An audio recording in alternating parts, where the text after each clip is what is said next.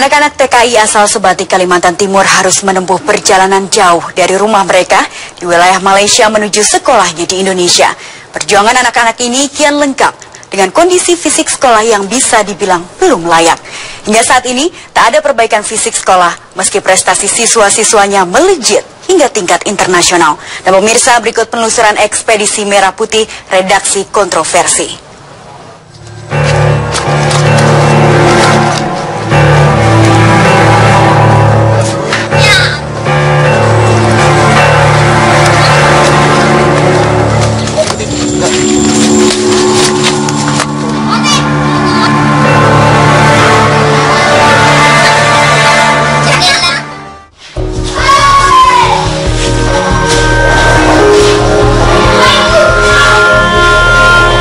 Sofi, pelajar kelas 5 sekolah dasar salah satu sekolah di wilayah perbatasan Sebatik, Kalimantan Timur, memiliki sebuah cita-cita mulia.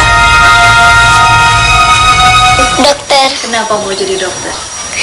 Karena kalau ada orang sakit, kalau mama saya sakit, saya merawatnya. Pengen jadi dokter di mana? Di Sebatik kah atau di luar?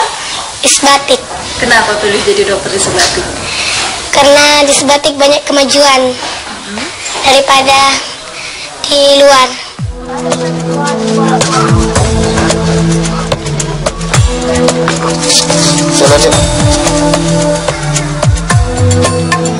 Padahal tak mudah bagi Sofi untuk menuntut ilmu, mengakses pendidikan seperti yang ia jalani sekarang. Lihat saja bagaimana Sofi harus menempuh perjalanan jauh untuk menuju ke sekolahnya. Tak ada yang mengantar tanpa kendaraan apa pun dan bukan melalui jalan yang mulus dan beraspal. Sophie dan beberapa temannya harus berjalan kaki, menempuh jarak puluhan kilometer dalam waktu lebih dari satu jam untuk sekali perjalanan.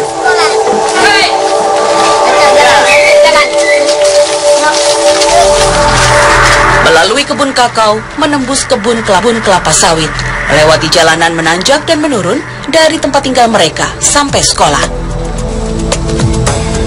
Tak jarang, tunas bangsa ini berhenti dan beristirahat sejenak di tengah perjalanan, mengumpulkan kembali tenaga yang terkuras untuk melanjutkan sisa perjalanan panjang yang harus mereka tempuh. Lelah pasti terasa, namun keringat dan lelah anak-anak ini seolah terhapus kala mengingat cita-cita yang sudah tersimpan dalam benak mereka.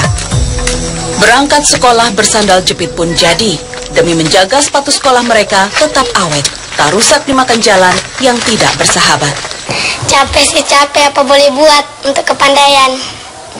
Kalau misalnya lagi uh, turun hujan gitu, tetap sekolah atau tidak sekolah? Tetap sekolah. Terus gimana berangkatnya? Berangkatnya tunggu berhenti hujan baru berangkat.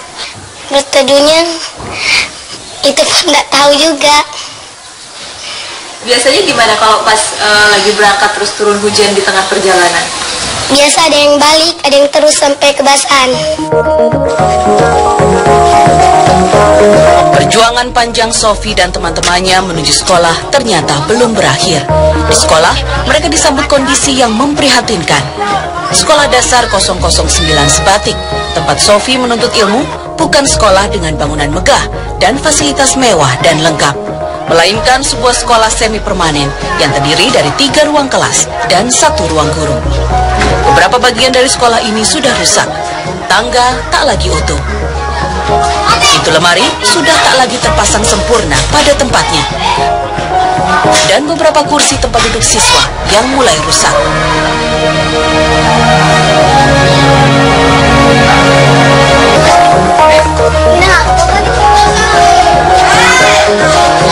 Pilihan bagi Sofi dan teman-temannya selain bersekolah di SD 009 Sebatik, Kalimantan Timur ini. Meski harus menempuh perjalanan panjang dan melelahkan, sekolah inilah yang lokasinya paling dekat dengan tempat tinggal Sofi.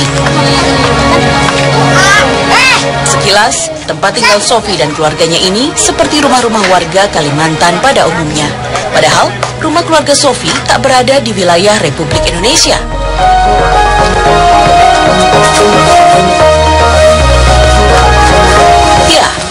Menjadi anak tenaga kerja Indonesia yang bekerja di Malaysia, Sofi pun ikut tinggal bersama orang tuanya di Kampung Bergosong, Malaysia.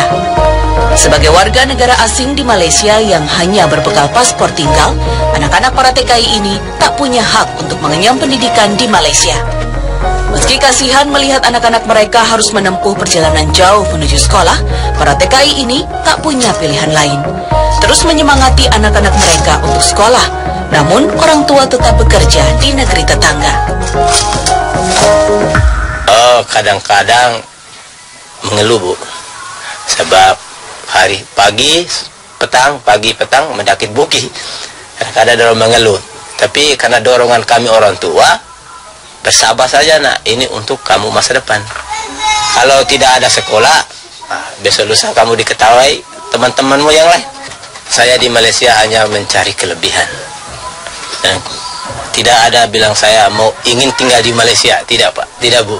Ayah saya cari kelebihan di Malaysia. Nah, susah cari kerja di Indonesia terpaksa saya cari kerja di Malaysia bu. Untuk biaya anak sekolah saya di Indonesia bu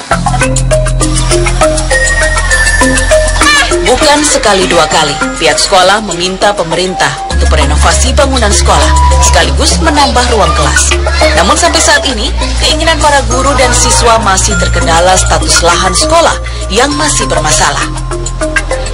Itu pertanyaan itu juga sudah sepertinya waktu dibilang begitu kami pun pernah bilang kenapa pemerintah dulu bangun sekolah ini kalau sudah tahu itu bermasalah? Kenapa dibangun?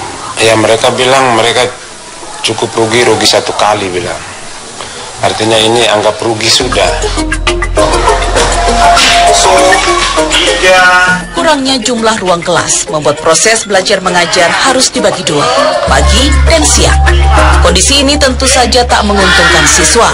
Kelelahan setelah menempuh perjalanan jauh, ditambah jumlah guru yang pas-pasan, terkadang merugikan siswa sendiri.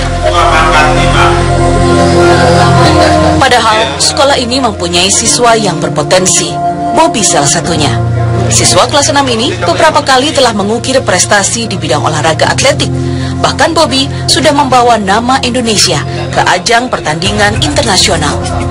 Di balik pahatan prestasi yang telah ditorehkan Bobby, ia pun menyimpan harapan sekolahnya bisa diperbaiki. Sekolah kami yang dikasih bagus oleh pemerintah, sekolah yang dikasih bagus dengan pemerintah dengan meraih cita-cita. Cita-citanya jadi apa? Kombet. Sekolah swasta dan pesantren yang notabene dihuni anak-anak TKI pun bernasib tak jauh berbeda dari sekolah negeri. Di beberapa sekolah swasta dan pesantren, asrama yang menjadi tempat tinggal para santri pun kondisinya sangat terbatas. Satu kamar ditempati lebih dari 10 santri. Fasilitas belajar untuk para siswa pun tak bisa dibilang memadai harapan adanya bantuan dari pemerintah masih menjadi mimpi para guru dan pengelola pesantren. Bahkan pihak pengelola swasta merasa adanya perhatian tak merata dari pemerintah. Kalau dari pusat untuk ini rasanya kayak jerah gitu nah buat orang lain yang dapat kita buat orang lain yang dapat seperti itu tidak langsung kepada kami itu nggak ada Pemerintah Kabupaten Nunukan mengakui masih adanya lembaga-lembaga pendidikan di kawasan perbatasan yang masih terbatas kondisinya. Di swasta pun juga tidak bayar kan gitu. Dalam arti diberikan dana pos ini kan. Ya mungkin kalau ada bayar-bayar yang lain itu kan program-program yang sifatnya untuk mau lebih kan gitu.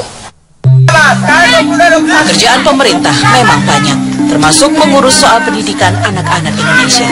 Namun, pendidikan bagi anak-anak perbatasan yang jauh dari pusat pemerintahan seharusnya mendapat porsi perhatian yang lebih banyak. Jangan sampai impian dan cita-cita generasi penerus bangsa ini harus terhenti hanya karena minimnya fasilitas yang diberikan pemerintah. Tim Liputan Trans 7.